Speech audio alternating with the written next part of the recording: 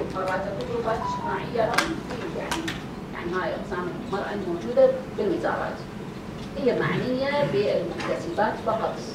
وأكو وزارات عاقبت المسؤولة لانها كانت فعالة في المحافظة. هالقد طلاب عندي قد ما أعرف شنو وحاجتنا في فلان قضاء هالقد مدارس محتاجين بفلان منطقة هل كل هذا لازم يكون عندنا. أمور خارج عن إرادتي مثلا. هاي أنا ما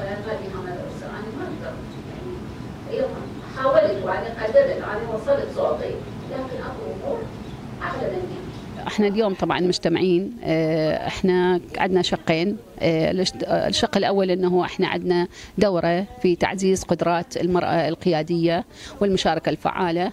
والشق الثاني هو إحنا عندنا آه، تعليمات واجتماعات عندنا خطة لازم خطة للمرأة العراقية وخطة العنف الأسري لازم ننجزها خلال هاي الأيام الجاية.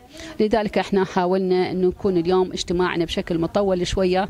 يكون أول ساعة أو ساعتين للدورة كانت والساعات الأخيرة هي إنه نعطيهم التعليمات اللي وصلتنا وأنه لازم نسوي كلنا نقدم خط آه، الخطة الوطنية للمرأة العراقية للسنوات من 23 إلى 30 وأيضا خطة العنف الأسري من 2018 إلى 30 هاي كلها مطلوبة من عندنا ولازم نعرف الفجوات نعرف البيانات الموجودة ونرصد الحالات الموجودة عندنا حتى بالتالي يكون عندنا إلمام كافي نعرف شلون نخلي الخطة. كان هذا اجتماعنا مع طبعا آه، حضر جميع جميع التشكيلات الموجودة سواء في دوائر المحافظة وفي آه، الأقضية والنواحي.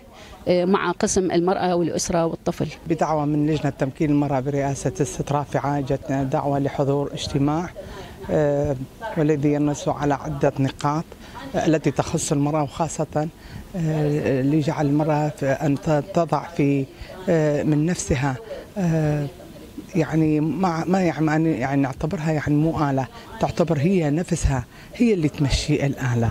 فأتمنى أن تكون المرأة أن تضع هي نفسها في أماكن صنع القرار. فأتمنى من كل مرأة أن تكون هي قائدة في كل آه، مؤسسة في كل مجتمع في كل آه، يعني أي موقع تكون موجودة به.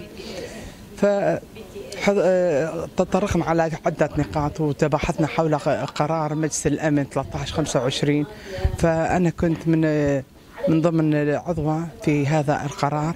وحاولت أن أكون آه، عضو بارز في مناطق الثائرة التي دخلها داعش وخاصة منطقة النزاع النزاعات اللي تحصل بسبب الحروب. والله تضمن آه، تمكين المرأة اقتصاديا وسياسيا واجتماعيا والأنشطة اللي راح نعمل بها مستقبلا في محافظة نينوى لغرض تمكين المرأة.